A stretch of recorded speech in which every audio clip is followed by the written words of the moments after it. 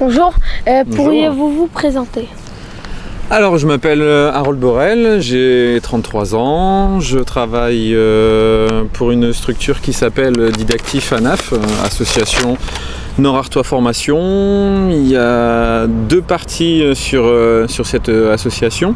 Il y a une partie d'accompagnement euh, auprès de demandeurs d'emploi, tout public, que ce soit du demandeur d'emploi, je dirais, euh, classique ou, euh, ou du demandeur d'emploi avec euh, certaines spécificités, des personnes qui n'ont pas travaillé depuis très longtemps ou des personnes qui ont un handicap. Et puis il y a une deuxième partie pour cette structure qui est le volet formation où là on accompagne des personnes, encore une fois tout public, notamment sur les métiers du commerce. Expliquez-nous votre métier. Alors bah, mon métier ça consiste à déjà écouter les personnes qui viennent, essayer de comprendre leur situation, essayer de comprendre aussi euh, leurs attentes, pourquoi euh, elles sont euh, sans emploi, ce qu'elles cherchent à nouveau comme emploi, est-ce qu'elles veulent rester dans le même domaine, changer, pourquoi elles veulent rester ou changer. Et puis après, en fonction de ça, bah, on les oriente, on les accompagne. Vous avez déjà rencontré des jeunes, par exemple, ils savent pas faire quoi comme des métiers? Ah oui, oui. C'est vrai que les jeunes aujourd'hui ont parfois du mal à, savoir euh, quoi choisir comme métier et bah, il faut aussi se mettre à leur place. C'est vrai que dire à 18 ans euh, euh, bah, il faut choisir un métier, il faut choisir un parcours de formation, bah, c'est pas simple parce qu'à 18 ans on ne sait pas forcément ce qu'on veut. Et puis bah, après il y a aussi des personnes qui ont travaillé pendant euh, 5, 10, 15, parfois 20 ans dans le même métier et puis elles se retrouvent au chômage, licenciées ou incapables de faire leur travail par, euh, par rapport à un problème de santé. Et puis bah, elles n'avaient pas prévu ça et bah, c'est pareil, elles ne se sont jamais imaginées sur un autre métier. Donc, euh, donc ouais, non, on, accompagne tout public et puis euh, et c'est pas simple de c'est pas simple de pouvoir dire à quelqu'un bah voilà on va vous accompagner, on va vous orienter sur tel métier. Il faut aussi que la personne elle comprenne la démarche, qu'elle l'accepte. Et et il y a énormément de personnes qui, qui aujourd'hui bah, ne retrouvent pas d'emploi parce que justement elles ne savent pas quoi faire.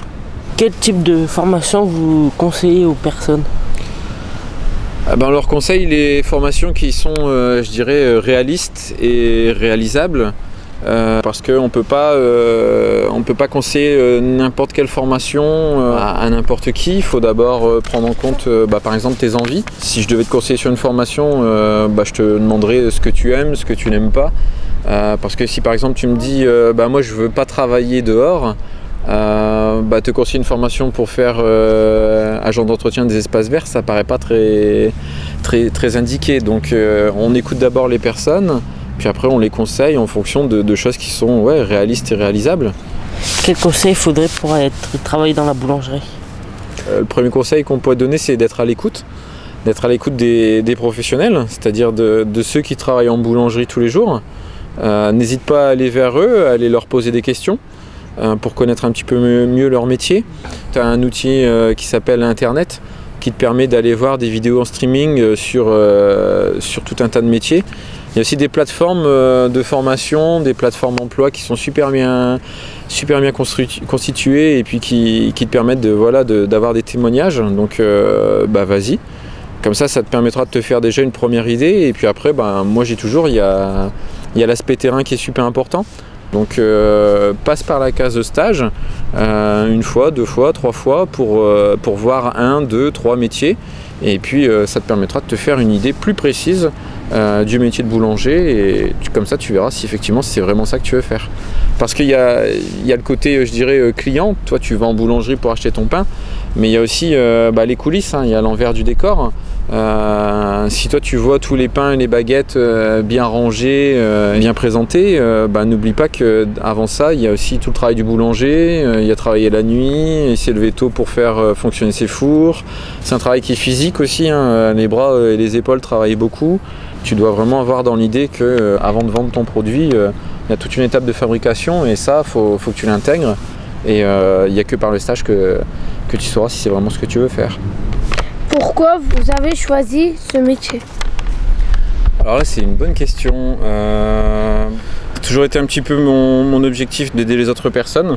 Moi, j'ai travaillé euh, pendant une dizaine d'années au Centre culturel et social de Liévin, où j'accompagnais des jeunes euh, en, en tant qu'animateur, et puis euh, bah voilà, on développait des activités.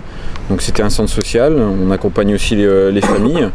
Et puis après, bon, je me suis réorienté dans, dans un autre, dans un autre métier, mais qui est tout le temps dans le social, qui est tout le temps dans l'accompagnement et dans l'aide euh, euh, au niveau de différents publics. Donc, euh, je, je pense que ça a toujours été en fait euh, une, une vocation. Est-ce que vous avez quelque chose à rajouter? Je pense que les métiers du, du- liés au social, c'est c'est vraiment varié. C'est quelque chose qui mérite, qui mérite d'être connu parce que bah, il y a des jeunes comme toi qui parfois se posent la question de savoir bah, tiens, qu'est-ce que je vais faire dans ma vie, euh, vers quoi euh, je pourrais aller euh, en termes de métier. Et puis euh, bah, on a tendance à oublier les métiers liés au social. On est dans un monde aujourd'hui où on pense un petit peu chacun pour soi. Et puis il y a tellement de métiers où, on pourrait, où on peut aider les autres que moi je pense que c'est des métiers qui méritent d'être découverts. Et comment devient-on CIP Alors, on devient conseiller en insertion professionnelle euh, via une formation. La formation, euh, elle dure environ euh, un an. Elle, est ponctuée entre des cours et des périodes en stage. Alors, les périodes de stage, elles se font bah, dans des structures qui sont habilitées à accompagner des demandeurs d'emploi. Donc, ça peut être bien évidemment le Pôle emploi, la mission locale, le Cap emploi ou des structures comme Didactif ANAF qui accompagne des demandeurs d'emploi euh, tous les jours. Donc tu vois, euh, ça change pas beaucoup des formations, euh, je dirais, euh, euh, bah, que toi tu peux connaître euh, en allant à l'école, puisque bah, il y a des périodes euh, de cours où on apprend euh, le métier en, théorie, euh, sur le papier, et puis il y a des périodes euh, en entreprise, des périodes sur le terrain où on voit euh, bah, la réalité du métier, où on est confronté à des demandeurs d'emploi et puis euh, aux difficultés, euh, difficultés de ces personnes euh, sur, euh, sur le quotidien. Bah merci pour la dernière question. Merci à toi.